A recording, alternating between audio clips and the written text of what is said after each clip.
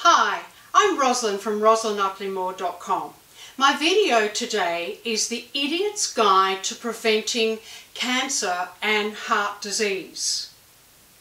If you are eating processed man-made food that is made for profit, and remember it's got to stay on the shelf a long time, it is laden with salt, sugar, hydrogenated fats, and chemicals that I've got no idea how to repeat them. They are the foods that are creating cancer and heart disease. They are man-made diseases. And don't be fooled thinking that some other man out there is making those diseases. You are making those diseases in your body every time you eat processed foods. It's knowledge. It's that easy. Don't eat them. Don't be an idiot. Don't eat them because you're creating those diseases when you eat those processed foods.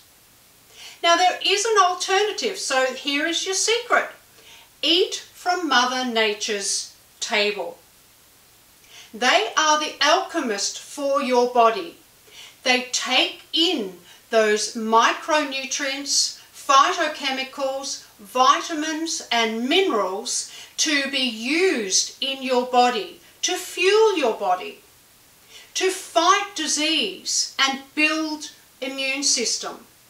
Now in your immune system you have a darling little thing called a natural killer cell. That is going to go into your body and rummage around there, find all those diseased cells and kill them.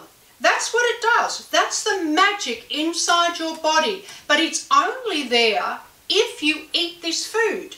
If you eat the crap that's out there processed by somebody else, then you will develop those diseases. But if you eat this bounty, your beautiful fresh greens and your sweet, juicy, seasonal ripe fruits, you will be developing immune system that's strong, that can go in and fight those diseases.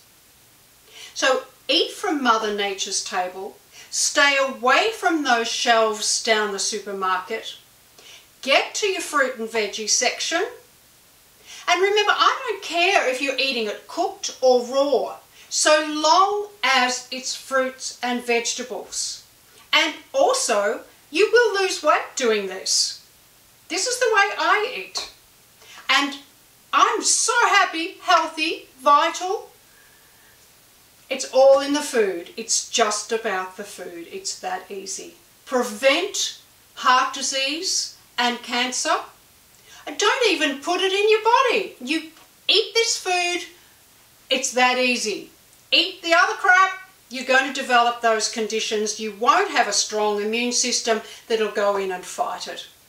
So prevent heart disease and cancer, eat this food.